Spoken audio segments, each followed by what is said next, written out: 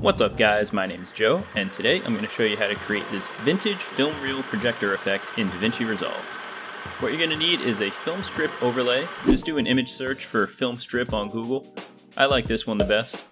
Next you need some film grain. I got this one from Wex Photo and Video. Lastly, you need a projector sound effect. I found this one on YouTube. I'll link all of this in the description down below.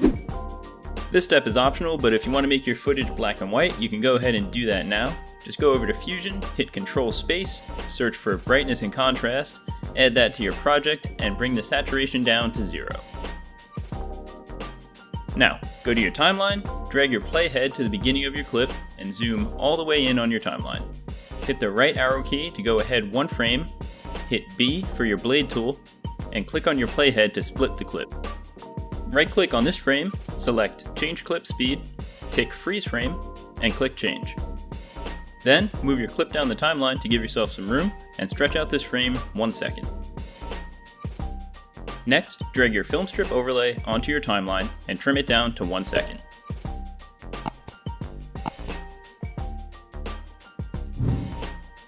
Select both your film strip and your clip, right click, select New Compound Clip, name it whatever you want, and click Create.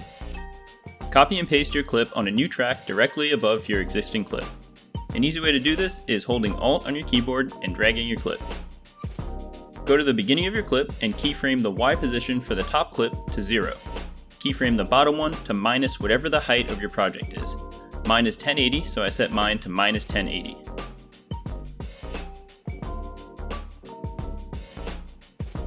Go to the end of your clips and change the top clip's position to 1080 and the bottom's to 0.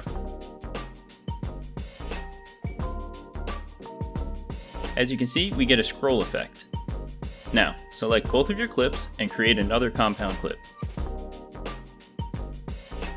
Next, go over to Effects Library, open Effects, and scroll down to Camera Shake.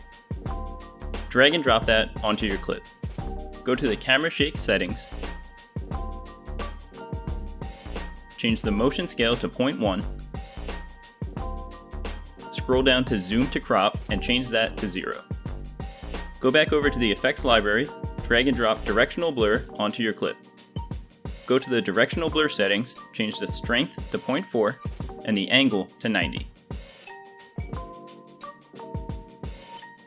Right click on the clip, go to change clip speed and change it to 400%, take a ripple sequence and click change. Now hold Alt and drag and drop your clip as much as you want. I'm going to do 3 seconds. This is what we have so far.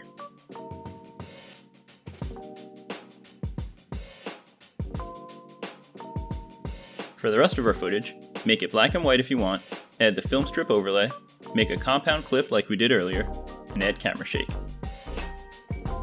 Next, drag and drop your film grain onto the timeline. Go to the inspector panel and change the composite mode to hard light.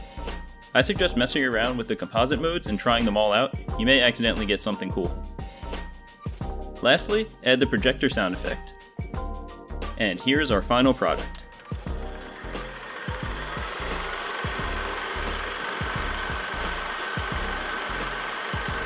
Alright guys, that'll do it for this video. If you enjoyed, please drop a like and consider subscribing, really helps the channel. If you have any questions, drop a comment down below. My name is Joe, and I'll see you in the next one. Do you have a clip you'd like to submit?